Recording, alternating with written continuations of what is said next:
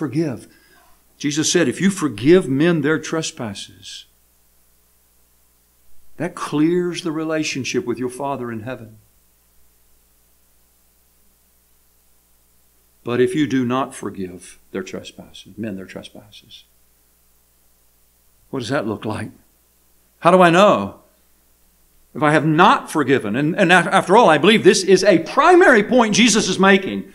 Unforgiveness is what Jesus is warning against here. Fundamentally, this is the mark that he's aiming at. How do you know? How do you know if you have not forgiven? Let me just give you uh, four or five uh, things to think about. Number one, you analyze and calculate the wrong that's been done, the debt that's owed you. And you will not let it go until the offender has paid in full, whatever that be. And let me just throw this thought in your mind. It will never be. An unforgiving spirit is never satisfied. It's like fire. Never satisfied.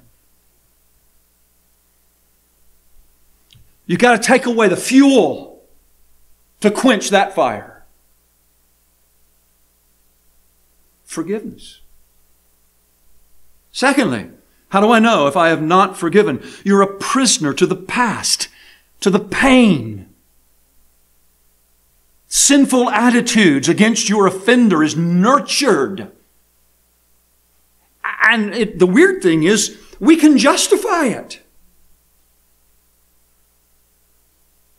Aren't you thankful that God doesn't do the same for you? Thirdly, how do I know if I'm not forgiven? You seek pity. And you can do this in so many different ways.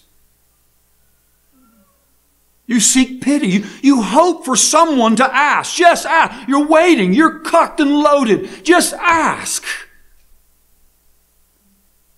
why I am looking the way I am and feeling the way I do. Just ask. I'm, I'm ready to unload upon you about the debts that are owed me.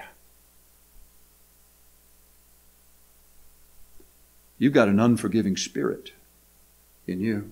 It's called bitterness. Fourth, you are unable to acknowledge any good about your debtor. You see nothing good. There's nothing. Sometimes in counseling, I'll have to ask that Do you see anything good about your husband or your wife? Well, nothing. There's absolutely nothing. Nothing. Church members, workplace. Somebody's messed with you. Somebody's looked at you wrong or, or maybe done something more severe that's really bad. You, you harbor that. You, you hold on to that. And your, your view, your evaluation of other people is controlled by an unforgiving spirit. It's control. I'm saying this to you to help you. If you, if this, if the Spirit of God makes this real to you, I'm telling you, it will be liberating to your soul. It'll change your life.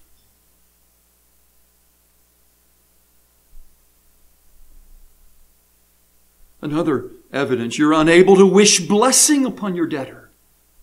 Maybe even wishing them harm. You can't pray for them. If you do pray for them, it's the imprecatory prayer, right? And we justify that. Now, brothers and sisters, while you can only say to someone, I forgive you, I don't think it's right for us just to throw this I forgive you around loosely. While you can only say, I forgive you, really, to one who says, I repent, according to, if I understand Luke 17 correctly. You must forgive in spirit if you are to be free from bitterness and have peace filled, joyful communion with your Father in heaven. So, what goes through your mind as you hear the words of Jesus? When he says, pray like this and forgive us our debts as we forgive our debtors. For if you forgive men their trespasses, your heavenly Father will also forgive you. Don't hear this so much as a threat as it is an encouragement.